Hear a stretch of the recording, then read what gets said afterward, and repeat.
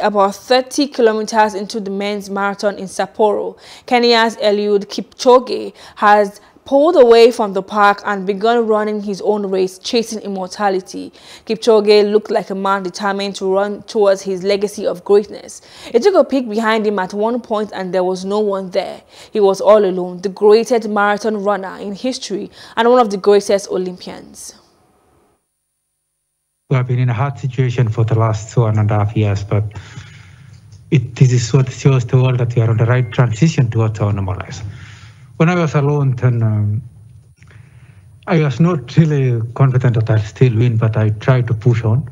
That uh, I got a peace, uh, peace in my mind to enable me to push more because of I was alone, and and and, and that's what uh, made me go and maintain the pace. So I tried uh, just push, and I see some people still there. Tried again, and I just go some few meters, and the the the the, the distance started to increase a little bit, and that's where I maintained. I want to be remembered in the future as a person who brought change and inspiration to the sport.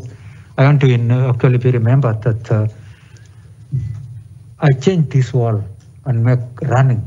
Kipchoge is is a hero. He's a hero to millions and millions of people. Uh, and it goes way, way beyond athletics now. You've only got to see the, uh, the, the, the, the, emotional appeal that he has. And I've seen this close at hand when he's been, you know, in, in running communities and way, way beyond running communities. I was shown a lovely photograph on the way here, mid-race, of him, you know, sort of high-fiving one of the other competitors who just was wanting to be seen standing alongside him.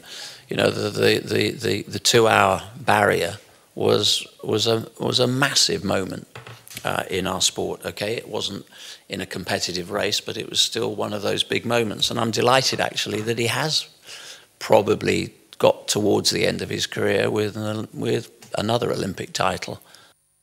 Hello. Hope you enjoyed the news. Please do subscribe to our YouTube channel and don't forget to hit the notification button so you get notified about fresh news updates.